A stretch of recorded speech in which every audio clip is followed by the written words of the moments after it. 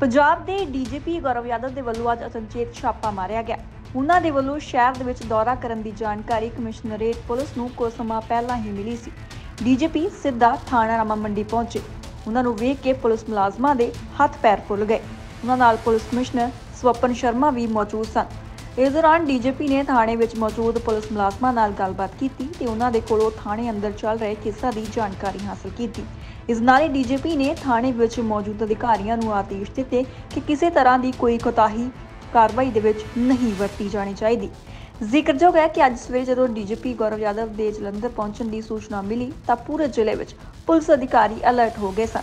ਜਦੋਂ ਡੀਜੀਪੀ ਗੌਰਵ ਯਾਦਵ ਸਖਤ ਸੁਰੱਖਿਆ ਵਿਚਾਲੇ ਥਾਣੇ ਵਿੱਚ ਪਹੁੰਚੇ ਤਾਂ ਉੱਥੇ joint CP Sandeep Sharma, DCP Aditya ACP Nirmal Singh ਸਮੇਤ ਕਈ ਅਧਿਕਾਰੀ ਮੌਜੂਦ ਸਨ। ਡੀਜੀਪੀ ਦੇ ਵੱਲੋਂ ਥਾਣੇ ਦੇ ਵਿੱਚ ਕਰੀਬ ਅੱਧਾ ਘੰਟਾ ਬਤੀਤ ਕੀਤਾ ਗਿਆ, ਜਿੱਥੇ ਉਹਨਾਂ ਨੂੰ ਪੁਲਿਸ ਵੱਲੋਂ ਡੀਲ ਕੀਤੇ ਜਾ ਰਹੇ ਲੋਕਾਂ ਨਾਲ ਗੱਲਬਾਤ ਕੀਤੀ ਗਈ। ਨਾਲ ਹੀ ਪੰਜਾਬ ਦੇ ਡੀਜੀਪੀ ਦੇ ਵੱਲੋਂ ਸਖਤ ਹਦਾਇਤਾਂ ਜਾਰੀ ਕੀਤੀਆਂ ਗਈਆਂ ਨੇ। ਪੰਜਾਬ ਦੇ ਡੀਜੀਪੀ ਨੇ ਕਿਹਾ ਹੈ ਕਿ ਕੋਈ ਵੀ ਕੋਤਾਹੀ ਵਰਤੀ ਨਾ ਜਾਵੇ ਤੇ ਕੋਤਾਹੀ ਵਰਤਣ ਵਾਲੇ ਮੁਲਾਜ਼ਮਾਂ ਦੇ ਖਿਲਾਫ ਸਖਤ ਕਾਰਵਾਈ ਹੋਵੇਗੀ। ਉਹਨਾਂ ਨੇ ਕਿਹਾ ਹੈ ਕਿ ਲੋਕਾਂ ਦੇ ਕੇਸਾਂ ਨੂੰ ਪਹਿਲ ਦੇ ਆਧਾਰ ਤੇ ਹੱਲ ਕਰੋ ਤਾਂ ਜੋ ਆਮ ਲੋਕਾਂ ਨੂੰ ਜੋ ਦਿੱਕਤਾਂ ਆ ਰਹੀਆਂ ਨੇ, ਉਹਨਾਂ ਨੂੰ ਜਲਦ ਹੀ ਹੱਲ ਕੀਤਾ ਜਾਵੇ। ਬਿਊਰੋ ਰਿਪੋਰਟ, ਦਾ ਟੀਵੀ ਐਨਆਰਆਈ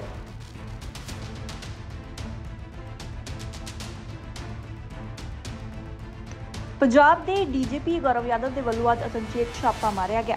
ਉਹਨਾਂ ਦੇ ਵੱਲੋਂ ਸ਼ਹਿਰ ਦੇ ਵਿੱਚ ਦੌਰਾ ਕਰਨ ਦੀ ਜਾਣਕਾਰੀ ਕਮਿਸ਼ਨਰੇਟ ਪੁਲਿਸ ਨੂੰ ਕੁਝ ਸਮਾਂ ਪਹਿਲਾਂ ਹੀ ਮਿਲੀ ਸੀ। ਡੀਜੀਪੀ ਸਿੱਧਾ ਥਾਣਾ ਰਾਮਾ ਮੰਡੀ ਪਹੁੰਚੇ। ਉਹਨਾਂ ਨੂੰ ਵੇਖ ਕੇ ਪੁਲਿਸ ਮੁਲਾਜ਼ਮਾਂ ਦੇ ਹੱਥ ਪੈਰ ਫੁੱਲ ਗਏ। ਉਹਨਾਂ ਨਾਲ ਪੁਲਿਸ ਕਮਿਸ਼ਨਰ ਸਵਪਨ ਸ਼ਰਮਾ ਵੀ ਮੌਜੂਦ ਸਨ। ਇਸ ਦੌਰਾਨ ਡੀਜੀਪੀ ਨੇ ਥਾਣੇ ਵਿੱਚ ਮੌਜੂਦ ਪੁਲਿਸ ਮੁਲਾਜ਼ਮਾਂ ਨਾਲ ਗੱਲਬਾਤ ਕੀਤੀ ਤੇ ਉਹਨਾਂ ਦੇ ਕੋਲੋਂ ਥਾਣੇ ਅੰਦਰ ਚੱਲ ਰਹੇ ਕੇਸਾਂ ਦੀ ਜਾਣਕਾਰੀ ਹਾਸਲ ਕੀਤੀ। ਇਸ ਨਾਲ ਹੀ ਡੀਜੀਪੀ ਨੇ ਥਾਣੇ ਵਿੱਚ ਮੌਜੂਦ ਅਧਿਕਾਰੀਆਂ ਨੂੰ ਆਦੇਸ਼ ਦਿੱਤੇ ਕਿ ਕਿਸੇ ਤਰ੍ਹਾਂ ਦੀ ਕੋਈ ਕੋਤਾਹੀ ਕਾਰਵਾਈ ਦੇ ਵਿੱਚ ਨਹੀਂ ਵਰਤੀ ਜਾਣੀ ਚਾਹੀਦੀ। ਜ਼ਿਕਰਯੋਗ ਹੈ ਕਿ ਅੱਜ ਸਵੇਰੇ ਜਦੋਂ ਡੀਜੀਪੀ ਗੌਰਵ ਯਾਦਵ ਦੇ ਜਲੰਧਰ ਪਹੁੰਚਣ ਦੀ ਸੂਚਨਾ ਮਿਲੀ ਤਾਂ ਪੂਰੇ ਜ਼ਿਲ੍ਹੇ ਵਿੱਚ ਪੁਲਿਸ ਅਧਿਕਾਰੀ ਅਲਰਟ ਹੋ ਗਏ ਸਨ।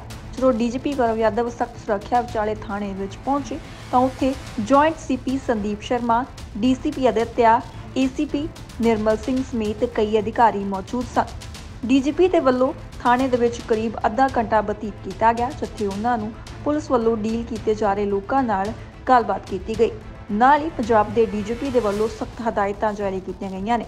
ਪੰਜਾਬ ਦੇ ਡੀਜੀਪੀ ਨੇ ਕਿਹਾ ਹੈ ਕਿ ਕੋਈ ਵੀ ਕੋਤਾਹੀ ਵਰਤੀ ਨਾ ਜਾਵੇ। ਤੇ ਕੋਤਾਹੀ ਵਰਤਣ ਵਾਲੇ ਮੁਲਾਜ਼ਮਾਂ ਦੇ ਖਿਲਾਫ ਸਖਤ ਕਾਰਵਾਈ ਹੋਵੇਗੀ।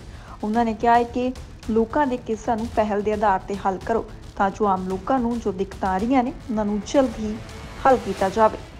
ਬਿਊਰੋ ਰਿਪੋਰਟ, ਦਾ ਟੀਵੀ ਐਨਆਰਆਈ